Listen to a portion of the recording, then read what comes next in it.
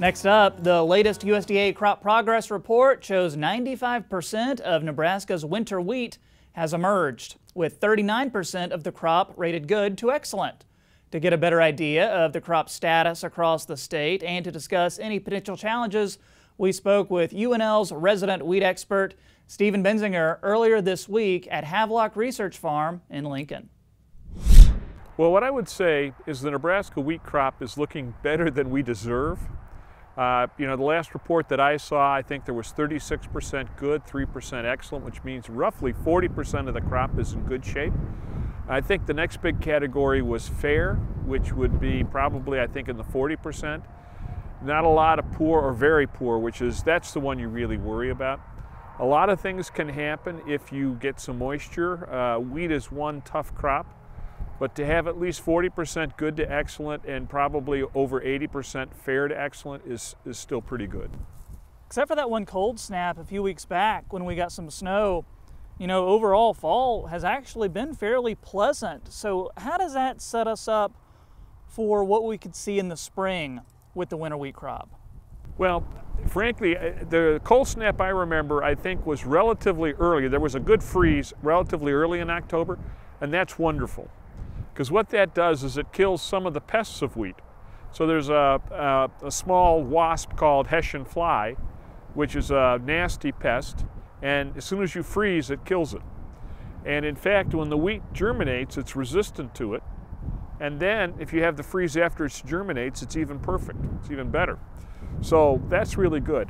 After that, it was warm, which allowed us to basically get in on time a lot of the soybeans got out on time, so it meant that the soybeans came off, the wheat got in, and then it was mild, so you get really very good establishment before the, the winter.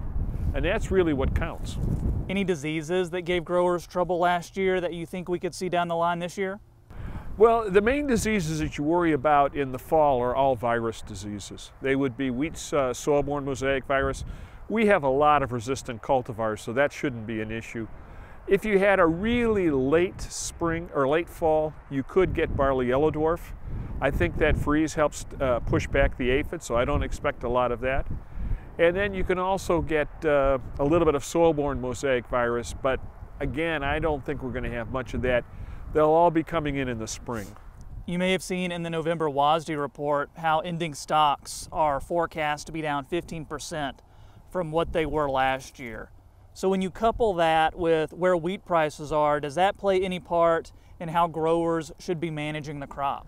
Well, I, I guess I'm not the one to ask a good economics question because I have trouble balancing my checkbook. But I, I think the rule of thumb would be if you're down in your wheat stocks, it means that there's less cushion so that you're not competing against last year's crop as much as you normally are. So to me, I would manage the wheat for where you think the price should be. And so, you know, if you think the price is relatively reasonable, and if you think that you could get a good price for protein, then you might want to watch your fertilizer pretty carefully, make sure you've got that. And we're learning a lot about fertilizer. Sulfur's helping a lot with nitrogen now because we don't have the air pollution that used to give us all the sulfur. So I would manage the crop, you know, on the on I would watch the price, I would see which way you think it's going, you know, talk to your consultants, that kind of thing, get the best information you can, and then manage the crop to make it as profitable as you can. Any final recommendations for us? Well, I, what I would say is, you know, to me, this crop looks beautiful. You know, it's it's tillered out. The way I look at wheat is the the savings account is the seed. Once it germinates, it uses up the savings account. As soon as it gets through the surface and it greens up, and you start seeing the green leaves, then it starts putting reserves back into the crown to get through the winter. And once it, uh, if you have a good establishment like this, your winter survivability should be much higher than if you had a very poor establishment. And, and in this case, we've got moisture underneath. It's dry on the surface, but good moisture underneath. So I think we're setting up extremely well. Now we have a lot of season left to go. You know, I mean, we have could have a really warm January followed by a brutal spring, and if that happens, the wheat will green up, then it gets frozen back, and a lot of the reserves that it's putting in right now will be lost. But that's, you know, let's not worry about it yet. But when we'll see how the weather goes. But right now, I'd say the wheat crop Where you have moisture like this, it looks excellent.